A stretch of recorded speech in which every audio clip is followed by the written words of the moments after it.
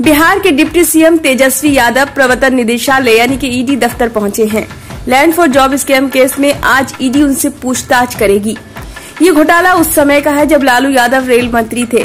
दावा है कि लालू यादव ने रेल मंत्री रहने के दौरान रेलवे में लोगों को नौकरी देने के बदले उनसे ज़मीन ली थी। लालू यादव 2004 से 2009 तक रेल मंत्री थे। लैंड फॉर जॉब स्कीम 14 साल पुराना केस है। इस मामले में इसी साल 18 मई को सीबीआई ने केस दर्ज किया था। सीबीआई के मुताबिक लोगों को पहले रेलवे में ग्रुप डी के पदों पर सब्सिट्यूट के तौर पर भर्ती किया गया और जब उनके परिवार ने ज़मीन का सौदा किया, तब उन्हें रेगुलर कर दिया गया। सीबीआई का कहना है कि पटना में लालू यादव के परिवार ने 1.5 लाख वर्ग फीट ज़मीन पर कथित तौर पर कब्जा कर रखा है।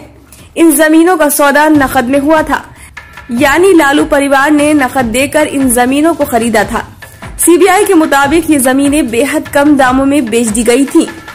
सीबीआई ने यह भी पाया कि जोनल रेलवे में सब्सिट्यूट की भर्ती का कोई विज्ञापन या पब्लिक नोटिस जारी नहीं किया गया था।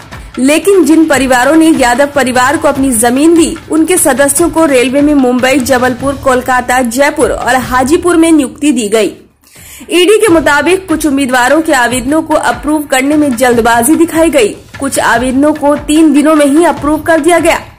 पश्चिम मध्य रेलवे और पश्चिम रेलवे ने उम्मीदवारों के आवेदनों को बिना पूरे पते के भी अप्रूव कर दिया और नियुक्त भी कर दिया।